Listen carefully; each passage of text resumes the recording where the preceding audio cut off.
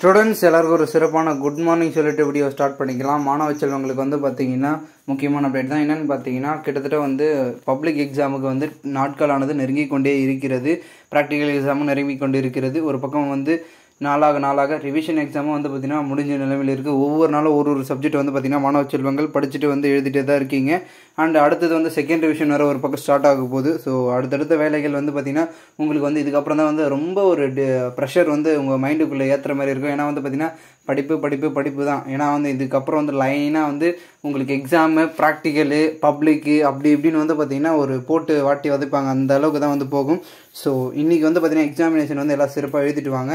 ஓகேங்களா நாளைக்கு என்னென்ன எக்ஸாமினேஷன்றது வந்து பார்த்தீங்கன்னா ஈவினிங் வீடியோவில் வந்து பார்த்தீங்கன்னா கமெண்ட்டில் சொல்லுங்கள் நான் எக்கச்சக்கமான கொஷின் பேப்பர் வந்து நம்மளுடைய டெலகிராம் குரூப்பில் போடுறேன். ஜாயின் பண்ணிக்கோங்க. கிட்டத்தட்ட வந்து பார்த்தீங்கன்னா நான் சொன்ன வரைக்கும் வந்து இரநூத்தி ஐம்பது ஸ்டூடெண்ட்ஸுக்கு மேலே வந்து பார்த்தீங்கன்னா நேற்றைய தினத்துக்கு வந்து நம்மளுடைய டெலகிராம் குரூப்பில் ஜாயின் பண்ணியிருக்கீங்க ஷேர் பண்ணுங்கள் வீடியோ ஷேர் பண்ணுங்கள் மற்ற மாணவ செல்வங்களும் நம்ம குரூப்பில் ஜாயின் பண்ணிட்டோம் உங்களுக்கு தேவையான கொஷின் பேப்பரை நீங்களாக கேட்டு நம்மளோட டெலாகிராம் குரூப்பில் எடுத்துகிட்டு படிக்க ஸ்டார்ட் பண்ணுங்கள் உங்கள் ஃப்ரெண்ட்ஸுக்கும் வந்து உங்கள் பிடிஎஃப் இருந்தால் கூட நீங்கள் வாட்ஸ்அப்பில் கூட அமுச்சு படிக்க சொல்லுங்கள் ஏன்னா வந்து பார்த்தீங்கன்னா இப்போ எக்ஸாமினேஷன் வந்து பார்த்திங்கன்னா இன்னும் குறுகிய காலங்கள் தான் இருக்குது எப்போ எவ்வளோக்கு எவ்வளோ படிக்கிறோமோ அவ்வளோக்கு எவ்வளோக்கு வந்து பார்த்திங்கன்னா நம்ம மார்க் எடுக்கலாம். படித்தது என்றைக்குமே வேஸ்ட் ஆகாது ஓகேங்களா அதை தெரிஞ்சுக்குங்க. ரிப்பீட்டர் ரிப்பீட்டாக ஏன் இதை சொல்கிறேன்னா கொஞ்சம் கொஞ்ச நாள் தான் வந்து பார்த்திங்கன்னா அந்த க ஒரு ஹார்ட் ஒர்க்குன்றது இருக்கும். அதுக்கப்புறம் தான் வந்து பார்த்திங்கன்னா உங்களுக்கு ஈஸியாக இருக்கும். ஏன்னா வந்து நிறைய மாணவ செல்வங்களாம் வந்து பப்ளிக் எக்ஸாம் போகிறீங்க போயிட்டு அந்த மூணு மணி நேரம் வந்து பார்த்திங்கன்னா ஒரு சில ஸ்டூடெண்ட்ஸ்லாம் வந்து வேஸ்ட் பண்ணிடுறாங்க. ஓகேங்களா? யாராச்சும் லாஸ்ட்டு டைமில் ஏதாச்சும் எதனா காமிப்பாங்களா? இல்லை சொல்லுவாங்களா? அப்படின்ற ஒரு ஏக்கத்திலே வந்து போயிட்டு அந்த வேஸ்ட் பண்ணுறீங்க அதை மட்டும் பண்ணாதீங்க.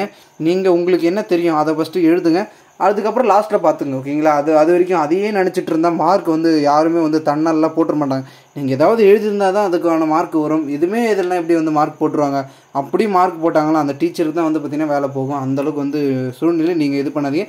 உங்களால் தெரிஞ்சதை எழுதுங்க அப்போ தான் வந்து மார்க் வரும். ஓகே ஸ்டூடெண்ட் நெக்ஸ்ட் வீடியோ சந்திக்கலாம். Baba take care